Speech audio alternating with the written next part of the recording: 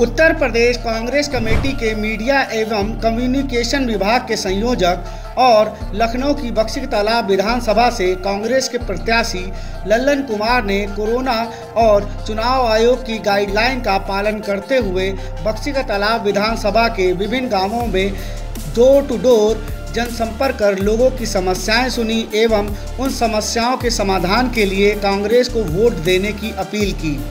बक्सी के तालाब विधानसभा के हाजीपुर, भौली, भवानीपुर, रामपुर, बेहड़ा, बेहड़, करौंदी, बाबा, पुरवा, मंडोली, बरगदी, खुर्द, बरगदी कला, पाट, आलादातपुर, गोराई, मलूकपुर इत्यादि गाँवों में लल्लन कुमार ने जनसंपर्क किया है।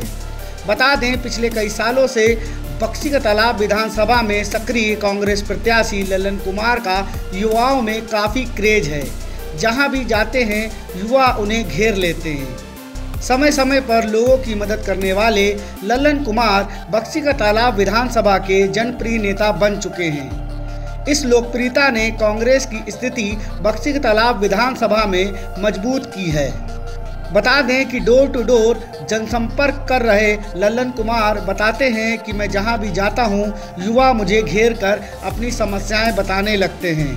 शिक्षा और रोज़गार को लेकर बीकेटी का युवा बहुत परेशान है। मैं इन युवाओं को यकीन दिलाता हूँ कि आपकी तमाम समस्याओं का निस्तारण मैं करूँगा। आने वाले पाँच वर्षों में बक्सी तालाब विधानसभा की तस्वीर बदलने का लल्लन कुमार ने दावा किया है। ब्यूरो रिपोर्ट जेएमडी खबर।